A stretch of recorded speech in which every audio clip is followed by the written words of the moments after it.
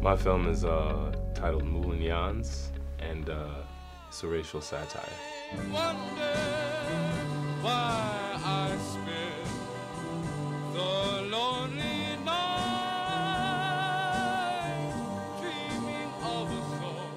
We're satirizing specifically, I guess, cinematic trope of the racist mafia member. My best friend from college, he was watching The Bronx Tale. You know, there's that famous scene where this black kid's riding by in the neighborhood and the protagonist and his crew, you know, start complaining about black people being in the neighborhood and then they beat the kid up. He, he had the idea of satirizing that scene and scenes like it in a short allegory about gentrification.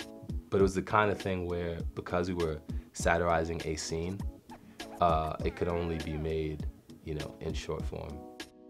We had no plans for what to do with this which is, I think, very liberating. Not having the financial constraints of having to have a return on investment or worrying about casting and, you know, whether this actor is bankable, you know, all of those sort of worries that I think can sometimes stifle creativity.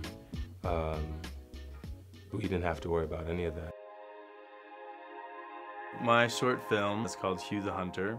It is a recontextualization of the work of an artist, Hugh Hayden, told in the form of a storybook fable.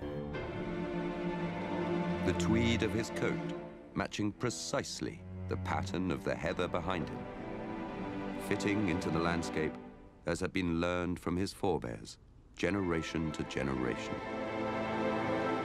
So basically, the idea behind the film was we would take the work of an artist and try to take it out of the context of a museum or a gallery space where it's usually viewed and try to show it to a, a different audience in a different way. We never saw it as a feature-length project. It was always conceived as a sort, and always conceived as kind of like a one-off, like an experiment, not with like, oh, we're gonna make this into a feature, or oh, we have an idea of where this is going to play, or we just wanted to introduce these themes in a different way to a different audience, basically. I always struggled with trying to make a narrative short.